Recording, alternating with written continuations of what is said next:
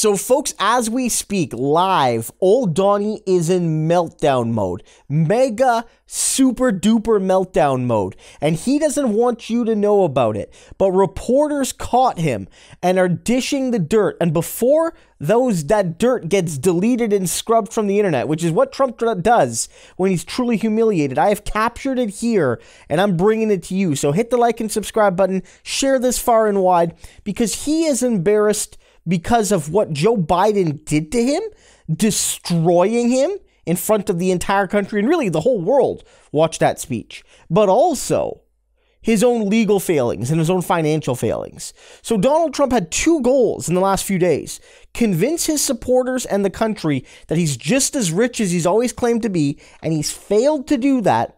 And also, guys, to paint Joe Biden as sleepy and as weak and as without any ideas of his own and all of that.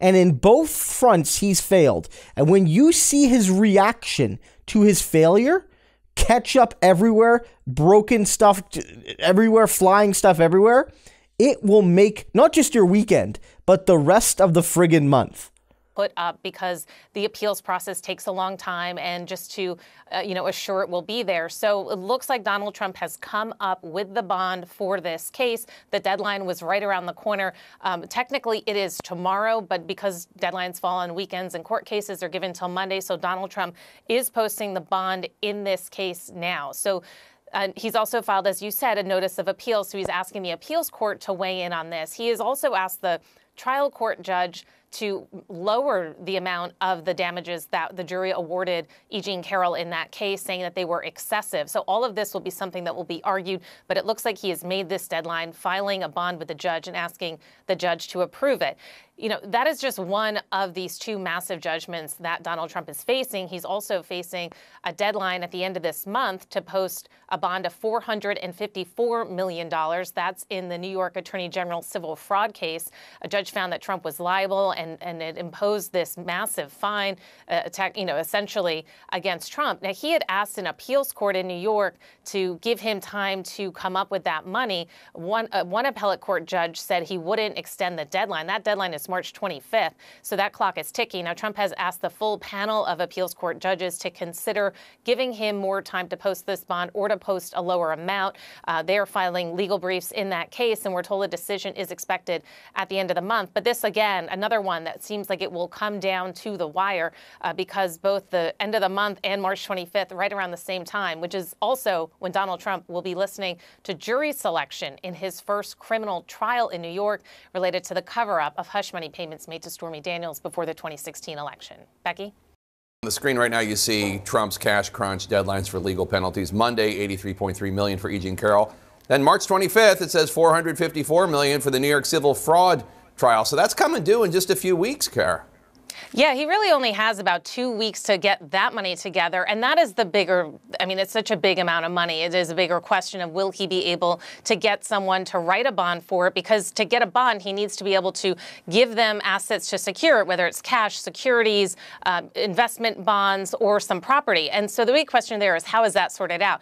Now, Trump had proposed putting up $100 million and then appeal the case. An appellate court judge struck that down. But an appellate court panel is hearing this They will ultimately decide um, if he's going to get an extension to not have to post this bond while the appeal is playing out. They're expected to make a decision later this month. That will coincide with the timing that this is due and also the start of Donald Trump's criminal trial in New York related to those hush money payments. Jake? All right, Kara Scannell in New York, thanks so much. Let's bring in Russ Buettner. He's the investigative reporter for the New York Times who's covered Trump's finances extensively. Russ, so the, the nearly $92 million bond that Trump posted today was underwritten by uh, the insurance company Chubb.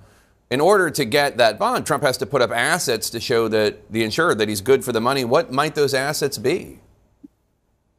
Well, he has a certain amount of cash, Jake. We never really know how much there is. Um, as recently as a year or so ago, he it looks like he probably had 300 to 350 million dollars in cash from selling a couple of assets and a refinance that someone else did of an investment he had a piece of. But one thing we've learned about looking at Donald Trump's businesses is generally they eat cash. So if he had that much then, we would expect he didn't now. And then this bond today locks up even more of his money, right? That boxes off some portion of the money that he committed to that. So I think it's likely that, that, that most of the cash that he has, if he has any left, is going to have to go to uh, sort of guaranteeing these two bonds, meeting the needs of whatever insurer might want on the larger bond, and possibly signing over some assets that aren't already sort of uh, really encumbered by mortgages. So you've written in depth on Trump's cash position in the past that the way he does business tends to burn through cash very quickly. Does he have solid sources of cash these days, ways that money is coming in to his coffers? Well, it's it's a great question. The last time we had a perfect window on his finances was a couple of years ago, and what we saw is that when he was on The Apprentice, um, he had a, an incredible amount of money from being on the show and also from licensing and endorsement agreements that came along with that. In 2011, for example, he made $51 million just in that year from those things. That's a lot of money. But the businesses that he ran, his golf courses and his hotels, tend to require him to infuse cash on a regular basis. So as the apprentice money dipped, the licensing money dipped down to almost zero by the time he entered the White House those businesses were starting to eat up more and more of his cash. The attorney general found there was one year where he would have been like literally out of cash, except for the beneficial interest rates he got on some of these loans that were subject to this fraud case. So it, it, it, does raise always questions about whether he has access to it. I think one thing is certain he does not have access to the 500 plus million he would need for the bond in this larger case. He can't just produce that much money and keep operating as a business. And that's what they said in that filing last week, where they said we could maybe get a bond for $100 million, and they asked the court to consider that. So I think it's really clear that larger judgment is not within his reach. Yeah, and part of that judgment, that New York civil fraud judgment, barred the Trump organization from doing business in New York, except in order to secure loans to pay the fines in the case. Now, the ban is on hold on the ban on doing business in New York while Trump appeals that judgment. But if that appeal fails, what happens to the Trump organization? Well, I think first he's got to get to the bond so he can have the appeal play its way out and buy some more time. That could be an existential threat to him. But if he has to ultimately just pay this judgment, he would exhaust more than all the cash that he has. I think that's very clear. He would have to sell something. They've got a court appointed monitor that's in place there who would oversee what he could sell. And there's really just a few pieces of his enterprise that are left that sort of help support the other ones. And if the monitor or the court decided those were the ones that had to go in order to meet the terms of the judgment, that again would be another existential threat to the Trump organization as an ongoing concern.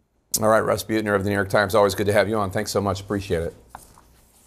Thank you, Jake. Later today, Donald Trump will cement his takeover, really a family takeover of the Republican National Committee. Shortly, Ronna McDaniel and her co-chair will officially step down, a move essentially forced by Trump, and then two candidates that he has endorsed, one of whom is his daughter-in-law. They are expected to easily win elections for the top positions. CNN's Alayna Treene is at that spring meeting in Houston, and we'll watch it unfold today. Alayna. Yeah, well, good morning, John. I do want to just start with some of the reaction to Joe Biden's speech last night. We saw uh, Donald Trump. He watched the address from his home at Mar-a-Lago uh, and, as promised, delivered a live play-by-play on Truth Social in response to Joe Biden's speech. And it really was a stream of consciousness reaction from Donald Trump. He uh, attacked Biden heavily. He went after him on his positions on Ukraine and Social Security, but his attacks also grew increasingly personal. We know that House Speaker Mike Johnson warned Republicans to maintain decorum yesterday in the chamber, but that was advice that did not reach Donald Trump. Uh, he very much attacked Biden. He mocked his appearance. He mocked his hair and his walk and also claimed that he was, quote, so angry and crazy. Now, Donald Trump also responded on Truth Social with some video, uh, taped video messages in response to Biden's speech, one of which really trying to turn the tables on Joe Biden's argument that Donald Trump is a threat to democracy, as we have seen Donald Trump do in the past. He claimed that Biden is the true threat. Take a listen.